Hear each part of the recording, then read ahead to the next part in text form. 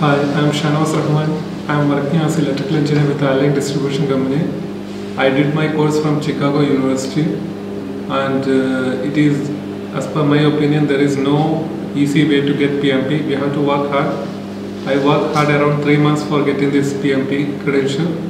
I got this PMP credential on 19th of April last month. Uh, the study material that I have used is PMBOK uh, 5th edition, that is my focal point. Second, the supportive books are Rita, and uh, I have gone through some YouTube channel also, especially Eisenberg YouTube. It was very well, it helps me a lot. And after getting this PMP, the endeavor changed for me because I am getting recognition from my colleagues and uh, it is very worth as per my opinion.